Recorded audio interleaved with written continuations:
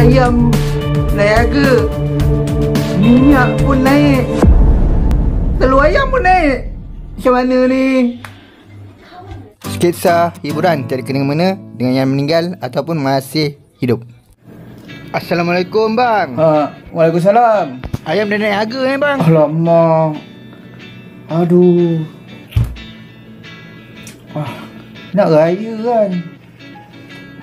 Bulan depan Nak buat Majlis akikah anak.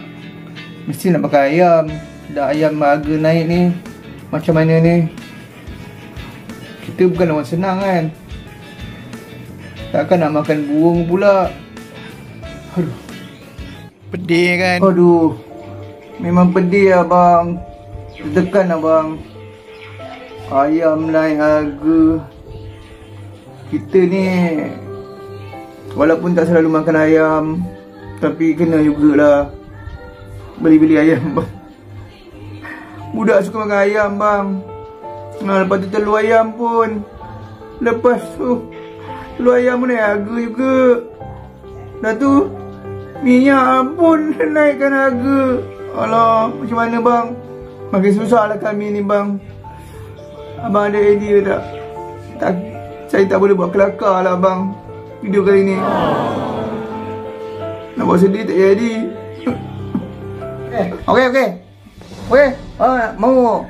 Halo, dah tarik unek Okey ke meniaga? Oh, agak mencabar lah kan? Ha, Ini harga ayam naik.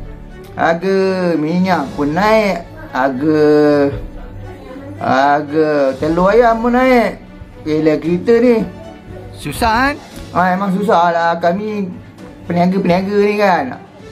Ha, Nak dapat ayam sekarang susah tau. Lepas tu naik pula harga. Oh mencabar.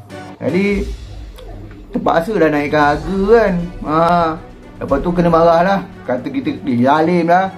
Kata, Apa Yahudi lah Pergi haji balik hari lah ha. Kita dah kena juga kan? Terpaksa naikkan harga. Kalau dah kita tak dapat untung Nak nak survive tak boleh Macam mana kan? Nah, tak puas hati lah juga kan?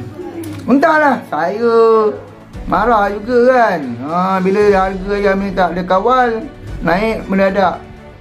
Ha, Saya Tak boleh komen sangat.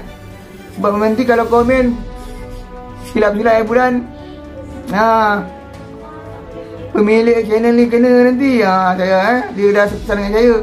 Jaga pertuturan hmm. Kasih pertama saya akan ha, Saya hantar rezeki saya Kita akan cuba juga ha, bertahan Tapi harga tu Saya tahulah Kita pun kena juga ni Walaupun kita beli dalam kuantiti yang banyak Tapi bila apa Pemborong ni nak naik ke Naik juga Kan Kira efek jugalah dengan jualan ayam hmm. ni eh. Tak tahulah jualan jualan ayam macam mana ni. Takkan orang nak makan udang, udang lagi mahal kan. Totong. Nah, agak kita dapat survive lah. Eh.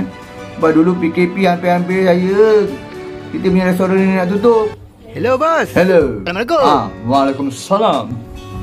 Abang ni pemilik Hmm. franchise ayam tu kan? Ya, saya pemilik franchise terbesar Kentucky Fried Chicken. Hmm. Ah, tuan, bincang sikit lah pasal kenaikan harga ayam ni. Hmm, harga ayam kan. Sebenarnya kita ni sekarang tengah sesak ayam eh.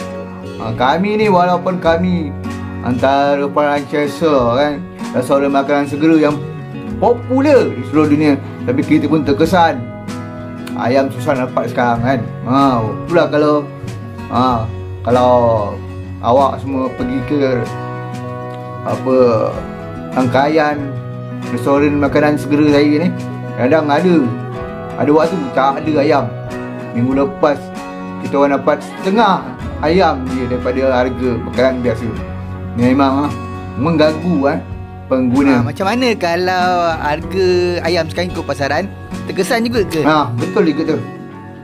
Bila harga ni dah di, diikut pasaran, saya takutlah eh. Kita juga terpaksa menaikkan harga. Yang mana customer-customer mungkin akan beralih arah kan. Mungkin dia orang akan pergi makan itik eh? Ataupun burung. Nah, saya tak tahulah. Mungkin lah eh. Ataupun kami mungkin kena tukar kot.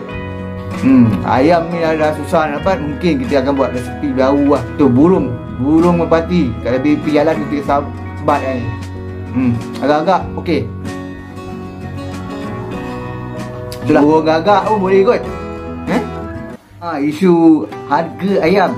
Harga telur ayam Harga minyak masak pun Yang tidak akan menjadi harga siling ha, Dan tentulah kan rantaian makanan akan menjadi tinggi.